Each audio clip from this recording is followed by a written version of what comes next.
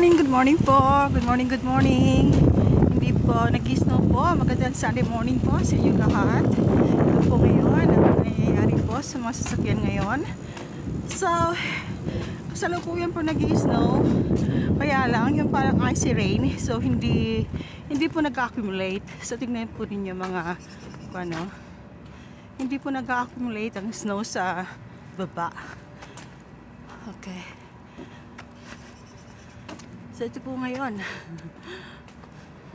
so minsan po iniisip natin, ah, uh, ito tingnan po ninyo, mamaya po siguro mag-accumulate. So ibig sabihin po, pag hindi po nag-accumulate ang snow dito sa sidewalk, kaya sa kalsada, ah, uh, ano, mainit po ang kalsada. So, tignan niyo po kung gaano po kabusilak ang snow, di po ba? Puting-puti po. Pag inihan tulad po natin sa buhay ng tao, lahat po tayo, kahit sabihin mong napaka, nasa isip mo ay napakabusilak mo, pag ikaw po ay dumapo at ikaw ay napakan, mag ang magiging resulta po nun ay magiging putik. So, para gusto ko ihan tulad, it's just a personification of what snow is right now. So, tinan nyo, napakaganda po. So, ito, naglalakad po ako. Sabi ko, he is no dito sa amin. Ay talaga pong, lang po. Pag schedule mo pumasok, pasok lang po. Minsan nga po, naranasan namin lahat dito ang gatuhod ng snow. Hindi pa rin sila nagsuspende ng klase. Tsaka trabaho. Still, life goes on.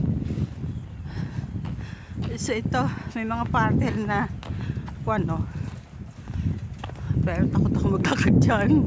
Pero it's okay siguro. I have to follow the footsteps. Kasi mga iba naman, kaya hindi rin naman nag-accumulate ang snow dahil po naglalagay na sila ng asin sa sidewalk. So makikita po natin yung mga may-ari ng bahay, yung mga tapat, kung sila ay, if they're ready or not. Kasi, yan, naglalagay po ng snow. So we don't know how, kung ilang inches po to. Tignan nyo na po ang mga sasakyan. Okay. Kaya po sa mga itong sitwasyon po, uh, we don't use cars. Talaga pong public transport po dito sa New York City. So, tignan po ninyo, di ba? Ang ganda tignan, ang ganda tignan. Ang kanang, ano, sana huwag ma-damage ang cellphone ko. Ang ganda tignan, di po ba? Yan. I'm just walking without umbrella. Hindi naman po ito eh. It's a taboo to be using an umbrella. Huwag ganito lang. Ako naman gumagamit ako ng payong. Hindi dahil protection ko sa snow. Para lang tungkod ko. Pero I don't need a tungkod right now. Ito po, makikita po ninyo.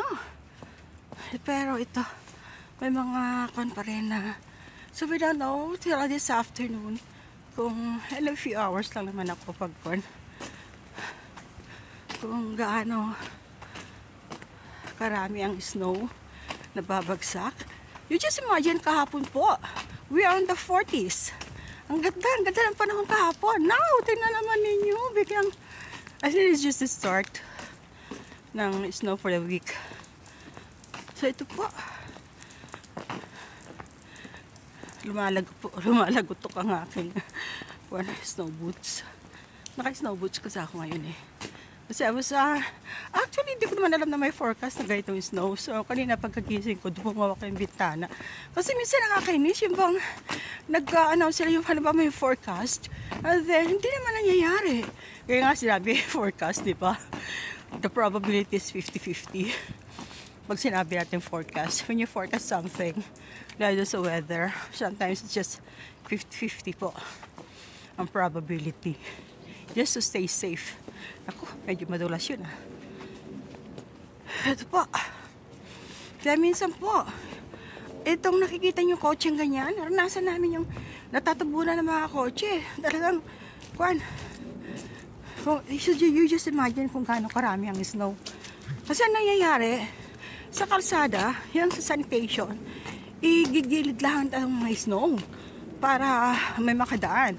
Dito naman sa sidewalk, dito mga tapat ng may-ari ng bahay, talagang lilinisin nila ng sidewalk. So what will happen is, the cars will be end up na talagang matatabunan. So ito po, ito po. Ah, ito po ngayon ang aming sitwasyon dito. So, pagdating po maya-maya, oh, makikita po ninyo mga halaman, di po ba? Ay mga kan, mga puno. Yan po.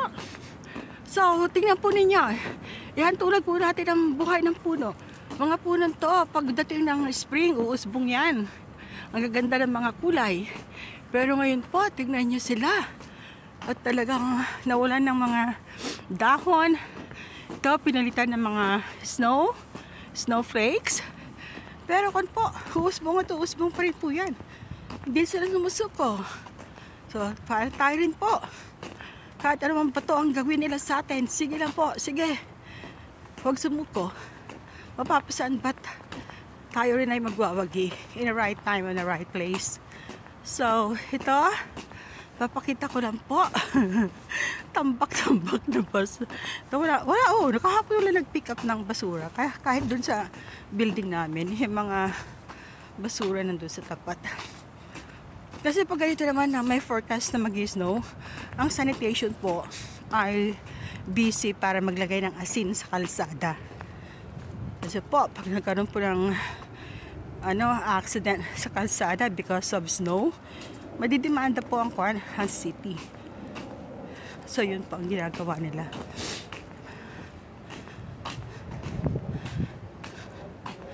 So, ito po. Makikita po ninyo mga sasakyan. Yan. Ewa. Una po. So, maya-maya po ako'y dadaan po dito sa corn po sa McDonald para bumili po ng aking kape. I-off ko na po dahil uh, nakaka-copyright po ako. okay, again, mega mega, mega, lang shoutout po sa inyong lahat, sa, aking mga viewers, subscribers, mga North America Group sponsors, mga Kalasan Warriors, mega mega lang shoutout po sa inyong lahat-lahat po. So, ang tabayanan po ninyo mamaya ang aking live stream about what friends are for. Okay? Bakit po tayo nakakaroon ng mga kaibigan? Para saan po ang mga kaibigan na yun? Bakit importante sa atin ang buhay ng ang buhay? Bakit importante sa atin ang mga kaibigan sa ating buhay? Naku, mukhang sarado ang park. Hindi ako makapag-say, makapag, ano pangalan ito? Iikot. Walang shortcut. So ito pa, tuloy lang po ang buhay umulan man o mag-snow, tuloy-tuloy lang po. So mega mega shout out po sa inyo lahat. Tulad ng sabi ko, thank you, thank you. Have a blessed Sunday. Take care and always be safe, okay? Thank you. Love you guys.